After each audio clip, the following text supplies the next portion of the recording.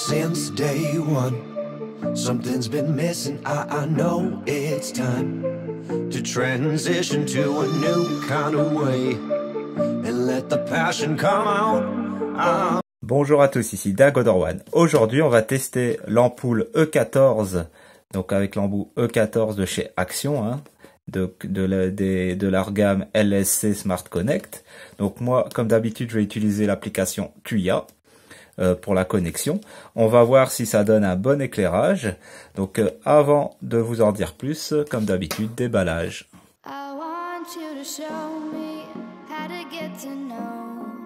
Petit tour de la boîte avant le déballage.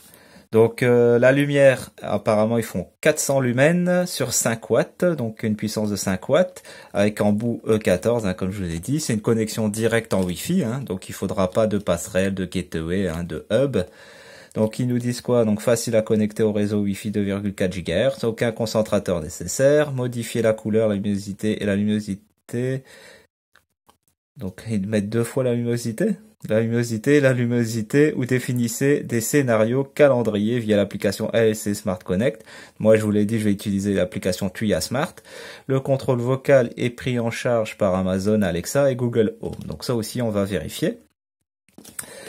Euh, donc elle est de classe énergétique A+, hein, donc c'est du 5 watts, hein, c'est normal. Euh, on peut pas utiliser de variateur de, de lumière. Euh, on peut baisser la luminosité de 10% et l'augmenter jusqu'à 100%. On peut allumer et éteindre 10 000 fois. Euh, donc euh, le changement de luminosité se fait en 1,9 secondes apparemment d'après eux. La lampe tient 15 000 heures. Hein. Si vous si vous allumez pas et éteignez pas 10 000 fois, bah, elle peut tenir 15 000 heures. Elle est de taille standard d'une d'une lampe classique 14. Euh, Ok, donc euh, elle, s'adapte aux différents euh, aux différents euh, embouts, hein, donc quand ils sont en connexion E14. Donc c'est ça qu'ils veulent dire. ok, bon, on va passer au déballage.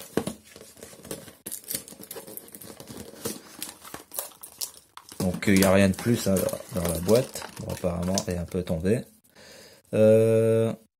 ok, donc si je prends une lampe Philips connectée, que blanc. Celle-là, elle fait que blanc. Ouais, elle est quand même plus petite. Hein. Elle est quand même plus petite. Elle est plus légère. Euh, quelques grammes. Hein. Je vais pas vous faire le poids. Hein. Ça sert pas à grand chose non plus. Euh, L'embout ouais, euh, est un peu différent. Ça, c'est plus standard. C'est une ampoule connectée. Hein. Pour ceux qui l'ont pas vu, euh, regardez euh, ma vidéo sur euh, l'ampoule Philips avec embout E14. C'était les premiers à faire ça avec embout E14. C'est rare que euh, on en trouve avec embout E14.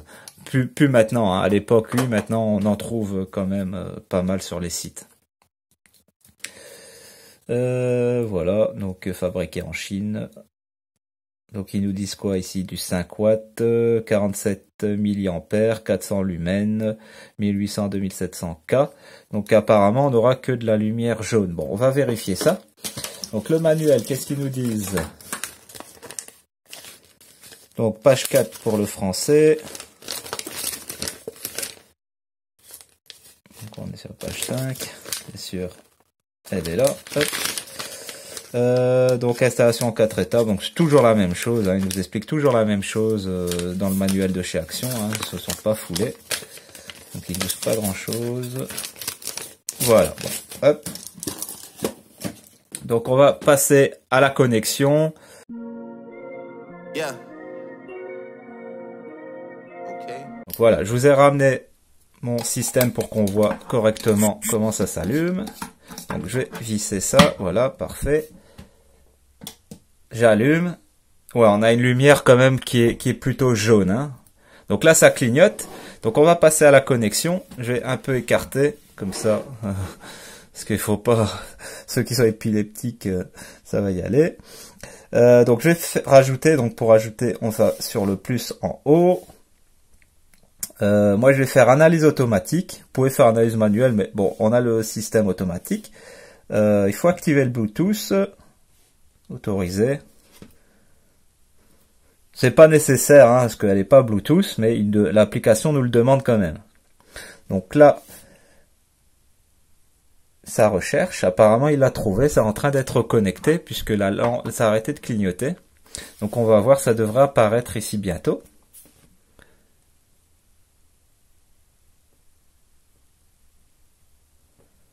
Voilà, il a, trouvé. Donc ils mettent euh, Smart LED 856B. Donc je fais suivant. Euh, je vais changer le nom. Donc je vais mettre ampoule E14. Je ne sais pas où je vais la mettre. Euh, je l'ai acheté pour dire de l'acheter. allez, je vais mettre, disons que dans mon bureau. Terminé. voilà. Hop. Donc on peut allumer, éteindre. C'est assez réactif via l'application Tuya, hein, vous avez vu. Je vais un peu baisser la luminosité peut-être. Euh, donc il faut l'allumer. Le blanc. Donc on voit, hein, le blanc il reste quand même jaune. Hein. Sur ça, euh, il y en a qui seront pas contents. Donc là on peut rendre encore plus jaune. Donc ça va jusque du 2700K, ils ont dit. Pour avoir de la lumière blanche, il faut plutôt des ampoules euh, que je vous dis pas de bêtises, des ampoules euh, qui vont jusque du 4000K, hein, si vous voulez, euh, si vous voulez une lumière plutôt blanche. Donc là, on est sur de la lumière un peu plus jaune. Voilà. Donc je vais éteindre. Donc vous avez vu, c'est assez réactif. Hop, c'est assez réactif. Ok. Donc voilà. Hop on allume, on éteint. Donc je viens de griller déjà pas mal de fois allumage et extinction de l'ampoule, des LED. Voilà, hop, euh, ce que je vais faire, je vais allumer, on va regarder la fonction couleur, si c'est bien respecté au niveau des couleurs. L'éclairage me semble assez fort. Donc je vais éteindre moi euh, de mon côté euh, ma lumière pour voir un peu. Voilà, donc moi je suis dans l'obscurité totale, sauf avec la lumière ici. Donc le vert pour moi est assez bien respecté. Le jaune est aussi assez bien respecté. On peut changer un peu le jaune de différentes couleurs. Donc les lumières sont assez bien éclairées. L'éclairage reste assez fort. Donc un petit défaut, vous vous le voyez pas, mais moi je le vois, on a un petit défaut d'éclairage. Donc je vais rallumer la lumière, je vais vous montrer. Euh, on a un petit défaut d'éclairage ici quand ça s'allume. Ici on voit un petit peu qu'il y a un petit défaut. Donc je sais pas si c'est mon ampoule à moi ou c'est le défaut classique, hein. j'en suis sûr c'est le défaut classique surtout euh, les petites ampoules comme ça. Euh, parce que la qualité est pas grande. Hein. Je, je sais plus quoi je l'ai payé, mais j'ai dû à payer 7 euros. Hein. Donc c'est pas excessif pour une lampe connectée couleur. Surtout en E14. Je l'ai acheté parce que ça m'a intrigué, euh, ce que j'avais pas encore vu euh, d'ampoule E14 en, couleur. J'avais les modèles de chez Philips connectés, mais j'avais pas vu de modèle en couleur. Maintenant, ils en font un peu plus. Il faudrait tester. Donc, je vais vous mettre un lien euh, d'un fournisseur qui les vend, un fournisseur fiable euh, qui pourra euh, vous en livrer à très bon prix en couleur. Hein. Je, vais, vous mettre le, lien en description. chez Action, la qualité un peu un peu diminuée par rapport quand même ce qu'on retrouve en Chine. Mais bon, ça, si on veut, on a besoin tout de suite des ampoules et quoi, on va chez Action et hop, on a des ampoules connectées. C'est pas très cher non plus et on l'a tout de suite. On doit pas attendre euh, un ou deux mois avant de les recevoir. C'est ça l'avantage aussi. Euh, donc on va voir ce qu'on peut faire avec l'application. Donc il faut que je l'allume. Comme c'est en couleur, c'est bien. On peut changer la variation de couleur.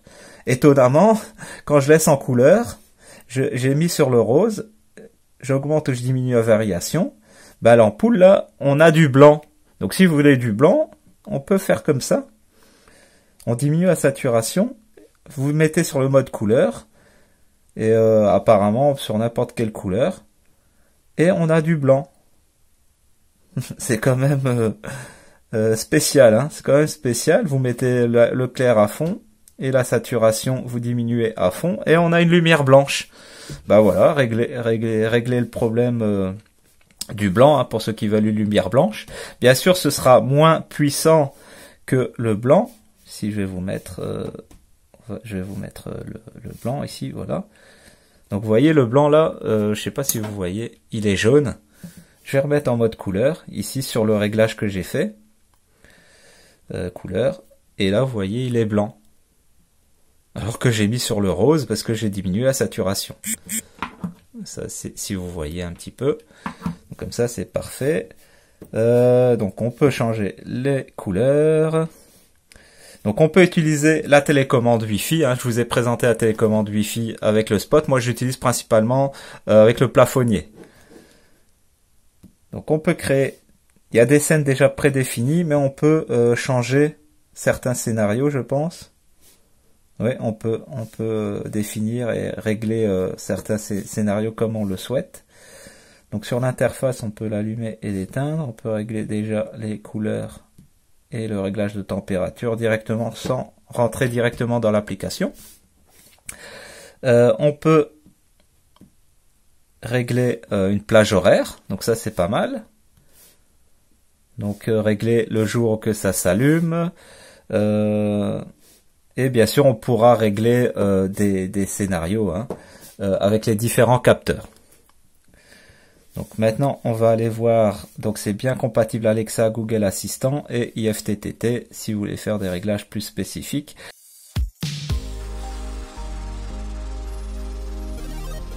On va sur l'application Home de Google comme d'habitude. Voilà, on va demander à Google de synchroniser tous mes appareils. Synchronise tous mes appareils.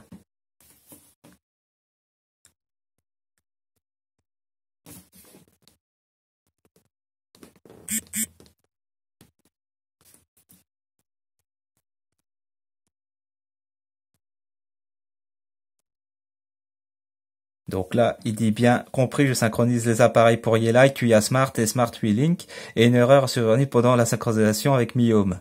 Ok. Euh, maintenant, on va voir euh, euh, où l'ampoule se trouve. Donc ça doit être tout à la fin. Moi, je l'ai appelé ampoule E14. Donc ça doit être ici. Voilà, elle se retrouve ici.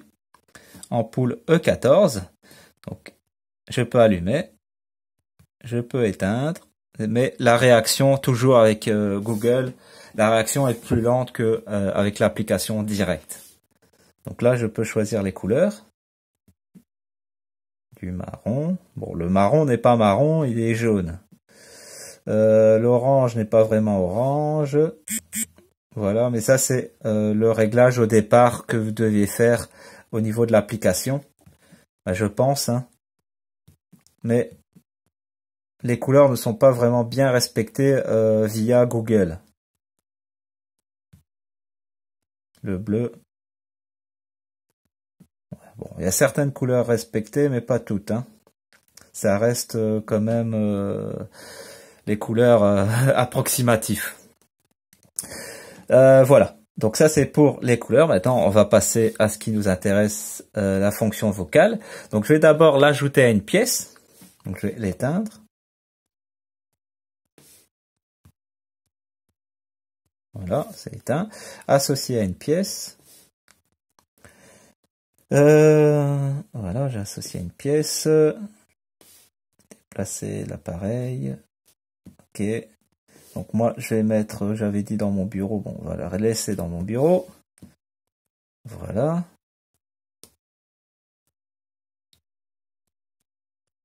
Voilà. Maintenant, on va pouvoir passer aux fonctions vocales. Bon, le problème c'est que j'ai plusieurs, euh, j'ai plusieurs, euh, j'ai quand même plusieurs euh, lampes dans mon bureau qui sont considérées dans mon bureau, hein, qui sont pas activées. Donc Google risque de dire erreur ou bug quelque part. Donc ça on verra. Allume ampoule E14 bureau.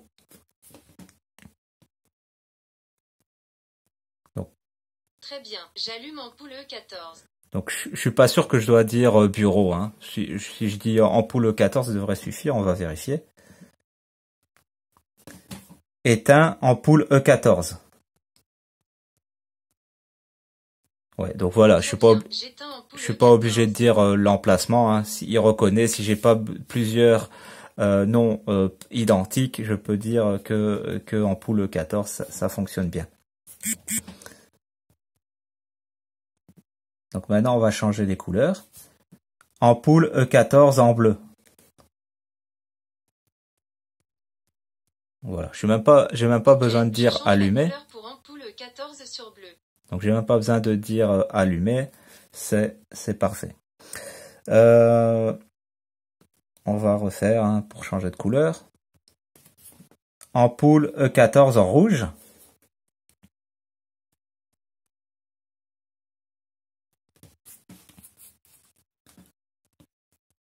Voilà. Très bien, je change la couleur pour ampoule 14 sur rouge. Maintenant, on va euh, changer la luminosité. Luminosité à 50% ampoule 14. Ok, je règle la luminosité de la lumière ampoule 14 sur 50%. Ok, parfait. Éteint ampoule 14.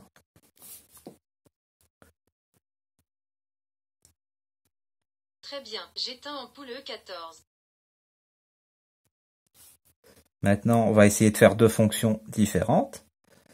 Euh, ampoule E14 en bleu, luminosité 50%.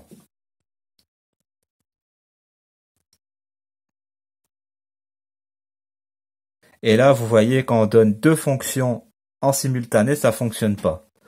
Et ça, chez toutes les toutes les marques, c'est comme ça. Donc voilà. Donc euh, on a on a vu euh, un petit peu le tour euh, avec Google Home. Passons à la petite conclusion.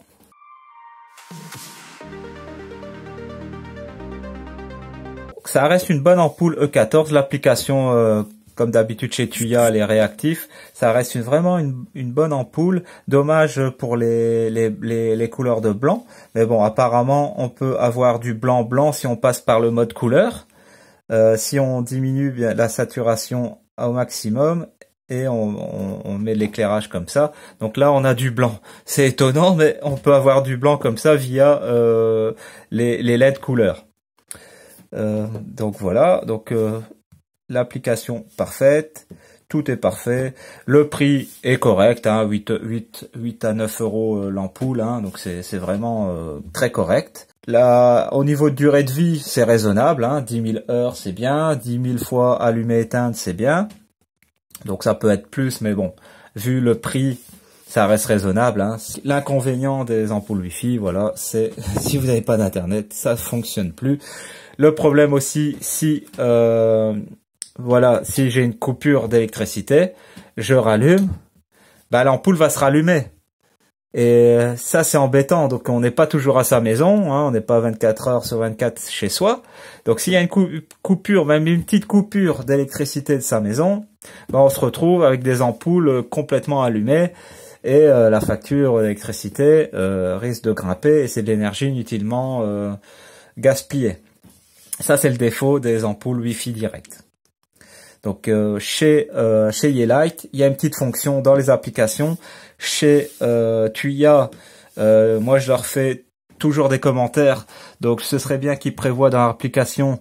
Donc je sais pas si c'est possible dans dans leur logiciel ou quoi, je sais pas mais euh, qui mettent une fonction euh, qui garde euh, l'état. Donc si l'électricité coupe, que l'ampoule reste éteinte, comme chez Sonoff. c'est ils ont ils ont prévu ça. Chez Yela qui prévoit ça. Chez Tuya, aucun fabricant, en, tout cas, ça vient de Tuya, hein, sûrement. C'est un paramètre que Tuya doit mettre au point pour pouvoir que quand l'électricité s'éteint, ben, l'ampoule ne se rallume pas, elle reste son état éteinte plutôt que allumé à l'activation.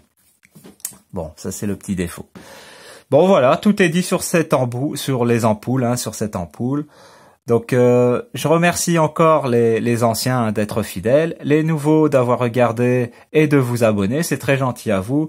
N'oubliez pas, ben, je possède une application hein, d'Agodor One, donc mon blog d'Agodor One Tech, là vous allez trouver toutes les promos et tout.